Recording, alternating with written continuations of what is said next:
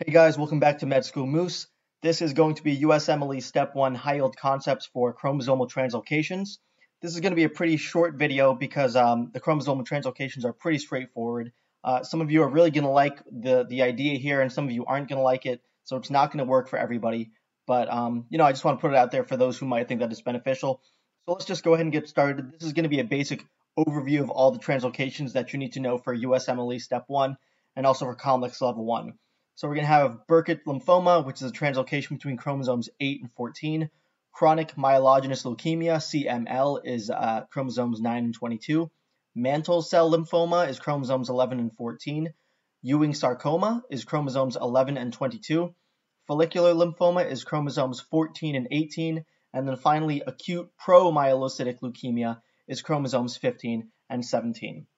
So let's start with the first one, Burkitt lymphoma. Like I said, it's a translocation between chromosomes 8 and 14. And the way that I do this, the way that I remember these translocations, is by pretty much incorporating the numbers into the name. Like I said, some of you, this is going to be really helpful. Some of you aren't going to like it that much. If you don't like it, feel free to disregard. But I know that this is definitely going to be beneficial for some people out there. So, Burkitt lymphoma, we have chromosomes 8 and 14. I like to make the 8 the B of Burkitt, and then uh, the 1 is the L, and then the 4 here is kind of the foma. So we have Burkitt lymphoma. So chromosome 8 and 14 is the translocation for Burkitt lymphoma. Chronic myelogenous, myelogenous leukemia, remember this is chromosomes 9 and 22. So the way I incorporate it into the name here, the 9 is going to be that G, if you can maybe kind of see that.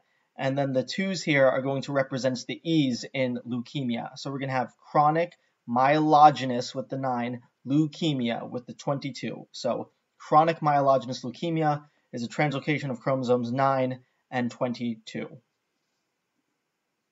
Mantle cell lymphoma, this is the translocation between chromosomes 11 and 14, and the way that I incorporate this into the name is uh, the two L's in cell are going to be chromosome 11, and then again, just like we saw with Burkitt lymphoma, we're going to have the 1 and the 4 here uh, representing lymphoma. So mantle cell lymphoma is going to be translocation between chromosomes 11 and 14. Remember this lymphoma here, just like with Burkitt lymphoma. Ewing sarcoma uh, is translocation between chromosomes 11 and 22. So what I did here is the I in Ewing, I kind of just doubled it and made it two ones.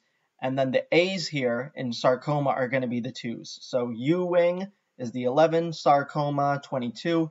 It's a translocation between chromosomes 11 and 22. This one I don't like that much, to be honest, and I feel like the better way to remember it is just with this guy. For those of you that don't know basketball, this is Patrick Ewing, uh, and his number is 33. And how do you get 33? 11 plus 22. So chromosome 11, chromosome 22 is going to give you Patrick Ewing, Ewing sarcoma. I like that way better, but you know, whatever works for you. Follicular lymphoma uh, is chromosomes 14 and 18 in which the translocation occurs. There's two different ways that you can remember this one. The first one, uh, maybe a little bit of a stretch. I put the 4 in follicular, so four follicular, but you have to remember to put the 1 before that. I know that's a little bit confusing.